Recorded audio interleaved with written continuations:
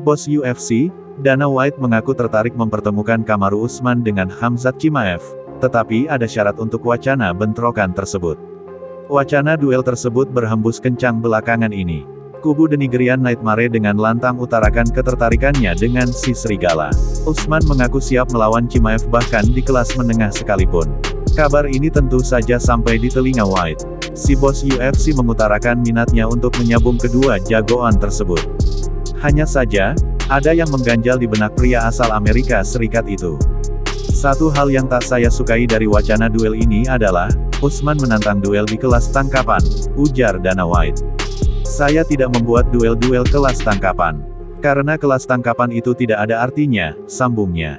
White lantas mengutarakan syarat jika Usman dan Chimaev ingin benar-benar bertarung. Dia meminta bentrokan mereka tak digelar di kelas tangkapan. Sungguh kelas ini tidak berarti apa-apa, tegasnya.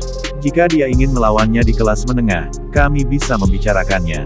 Tetapi, jika dia ingin di kelas tangkapan, saya takkan meladeni, tambah White.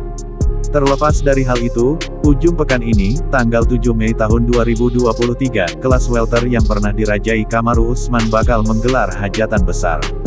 Petarung ranking 5, Gilbert Burn dipertemukan dengan jagoan ranking 4, Belal Muhammad. Membahas duel ini, si bos UFC menegaskan bahwa pemenang bentrokan bisa maju ke perebutan gelar berikutnya. 100%, ya, tegas White. Mereka takkan keluar dalam waktu lama. Pemenang duel ini bakal mendapatkan duel perebutan gelar, imbuhnya.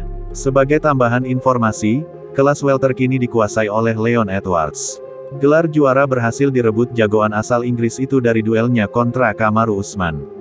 Kemungkinan besar sosok Colby Covington bakal menjadi penantang gelar selanjutnya. Hamzat Chimaev yang sudah di peringkat ketiga kelas welter sendiri kabarnya bakal ke kelas menengah terlebih dahulu.